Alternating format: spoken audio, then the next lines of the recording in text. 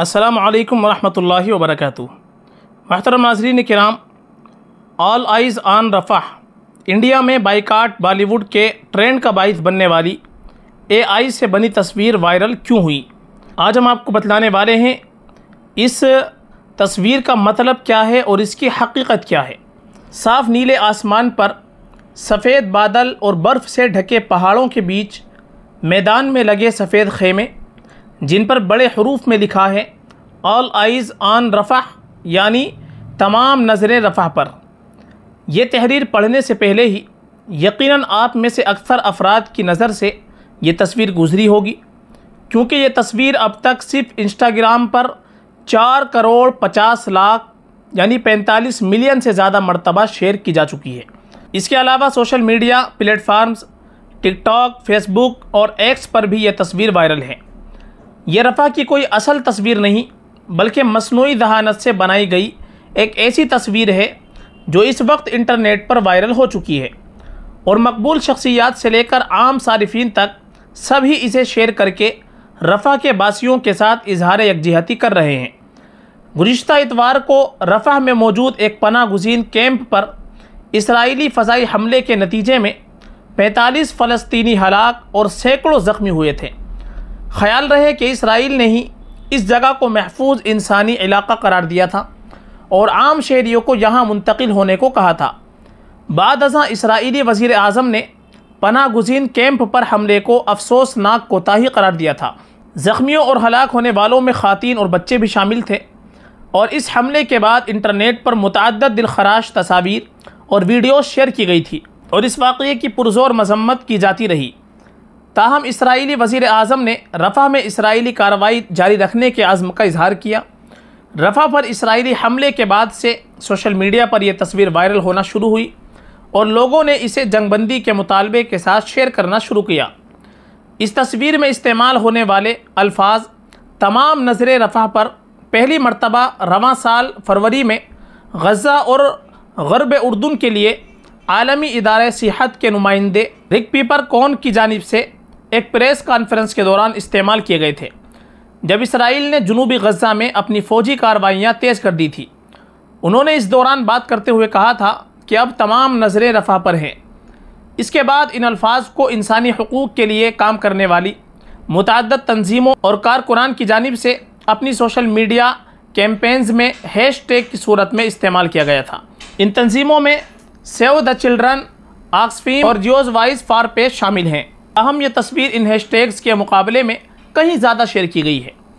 اس تصویر کے جواب میں اسرائیل کے حامی گروپس اور افراد کی جانب سے ایک اور اے آئی تصویر شیئر کی جا رہی ہے، جس میں حماس کے ایک جنگجو، ایک بچے پر بندوق تانے دیکھا جا سکتا ہے اور اس پر لکھا ہے کہ آپ کی آنکھیں سات اکتوبر کو کہاں تھی۔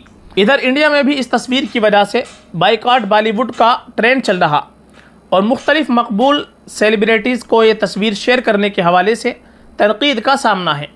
انڈین کرکٹ ٹیم کے کپتان روہت شرما کی اہلیہ ریکیتا سجدے نے بھی یہ تصویر انسٹاگرام پر پوسٹ کی، جس کے بعد انہیں ٹرولنگ کا نشانہ بنایا گیا تو انہوں نے اسے ڈیلیٹ کر دیا۔ آئیے جانتے ہیں کہ یہ تصویر اس قدر وائرل کیوں ہوئی۔ ٹیکنالوجی اور اے آئی کی دنیا میں اس کے بارے میں کیا بحث ہو رہی؟ انسٹاگرام پر یہ تصویر پہلی مرتبہ ملائیشیا کے ایک نوجوان نے اپنے انسٹاگرام اکاؤنٹ پر شیئر کی تھی۔ اور اس میں شیئر یورس یعنی آپ بھی شیئر کریں کے فیچر کا استعمال کیا تھا۔ انسٹاگرام کا یہ فیچر آپ کو کسی دوسرے شخص کی انسٹا اسٹوری شیئر کرنے کی اجازت دیتا ہے۔ اس تصویر کو شیئر کرنے والوں میں پاپ گلوکار کی مارٹن، ترک اداکارہ ٹوبا بیوکستن انڈین اداکارہ پرینکا چوپڑا اور شامی اداکارہ کنڈالوش سمیت دیگر بھی شامل ہے ای مارکیٹنگ اور مصنوعی ذہانت کے ماہر مہر انمری نے بی بی سی عربی سے بات کرتے ہوئے اس تصدیق کی ہے کہ یہ تصویر مکمل طور پر مصنوعی ذہانت کا استعمال کرتے ہوئے بنائی گئی ہے کیونکہ یہ رفع شہر کی حقیقی تصویر نہیں، بلکہ یہ ایک وسیع صحرا کو ظاہر کرتی ہے، جس پر بڑی تعداد میں خیمے ہیں۔ نمری کا خیال ہے کہ یہ تصویر کو شائع کرنے کے لیے استعمال ہونے والے انسٹاگرام کے فیوچر نے مہم کو بین الاقوامی شہرت دینے میں بہت مدد کی۔ کیونکہ اس تصویر کو شائع کرنے کے لیے صرف دو کلکس کی ضرورت تھی جس سے لاکھوں لوگوں کے لیے مہم میں شامل ہونا آسان ہو گیا تھا۔ نمری بتاتے ہیں کہ رفع میں پیش آنے والے واقعے اور اس کے بعد ہونے والی بحث نے یکجہتی مہم کو وسیع پیمانے پر پھیلانے میں مدد کی۔ انہوں نے کہا کہ اس تصویر میں خون نظر نہیں آتا، حقیقی لوگوں کے شارٹس، نام یا حساس مناظر بھی شامل نہیں ہیں۔ نمری کا خیال ہے کہ کیونکہ یہ تصویر انسٹاگرام کے استعمال کے اصولوں سے متصادم نہیں تھی، اس لیے یہ وائرل ہو سکی۔ جنگ یا نسل کشی جیسے جرائم کے خلاف آواز اٹھانے کے لیے اے آئی سے بنی تصاویر کے استعمال کی مخالفت کرنے والوں کا خیال ہے کہ ایسے سنگین مسائل کے لیے اے آئی تصاویر کا استعمال درست نہیں، کیونکہ جنگ زدہ علاقوں سے آنے والی بہت سی تصاویر سوئے ہوئے ضمیروں کو جگانے کے لیے کافی ہے۔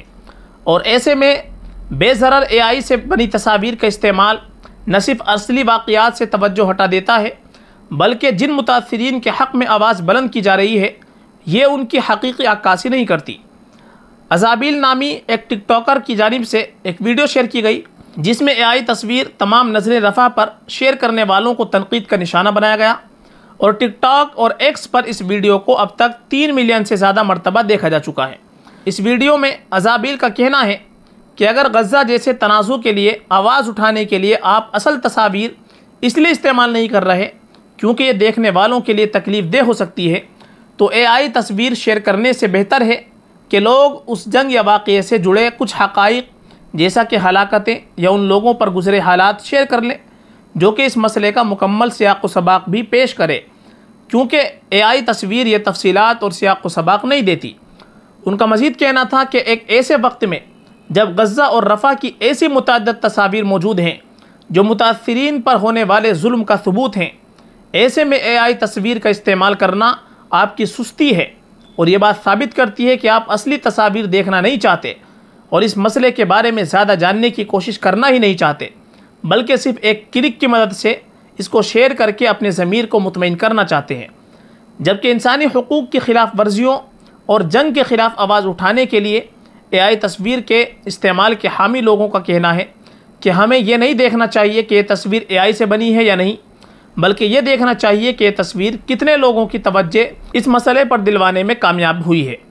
کچھ لوگوں کا یہ بھی خیال ہے کہ جنگ جیسی صورتحال میں میڈیا کی محدود رسائی یا سینسرشپ کی وجہ سے وہاں ہونے والے واقعات کی بروقت تصاویر سامنے نہیں آ پاتی، ایسے میں اے آئی سے بنی تصاویر وہاں کے حالات کی ترجمان ہوتی ہے۔ ان میں سے کون سا موقف درست ہے اور کون سا غلط، اس بارے میں کچھ بھی وثوق سے نہیں کہا جا سکتا، کیونکہ دنیا بھر میں اے آئی کے استعمال اور اس کی اخلاقیات سے جڑے بہت سے معاملات پر بحث اب بھی جاری ہے۔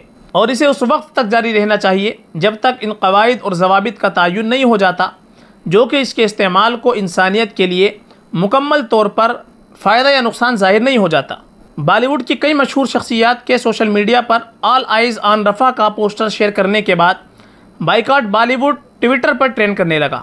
انڈیا میں اسرائیلی سفارت خانے کی طرف سے بھی رد عمل سامنے آیا ہے۔ اور سفارت خانے نے ایکس پر ایک پوسٹ میں لکھا ہے کہ اس مہم کو چلانے والوں کو حماس کے ہاتھوں یرغمال بنائے گئے، اسرائیلی نظر نہیں آتے۔ اس پوسٹ میں ان کا مزید کہنا تھا کہ آپ کی آنکھیں ان ایک سو پچیس اسرائیلی مردوں، عورتوں، بچوں اور بوڑھوں کو نہیں دیکھ پا رہی، جنہیں حماس نے قید کر رکھا ہے۔ اسی وجہ سے تنازع شروع ہوا۔ تبصرہ کرنے سے پہلے یہ مکمل کہانی جاننا ضروری ہے۔ ہم اس وقت تک آرام سے نہیں بیٹھیں گے جب تک کہ ہر یرغمالی گھر واپس نہیں آ جاتا۔ یہ ہے آل آئیز آن رفا کی مکمل جانکاری جو ہم نے آپ کو اس وقت میں دی ہے۔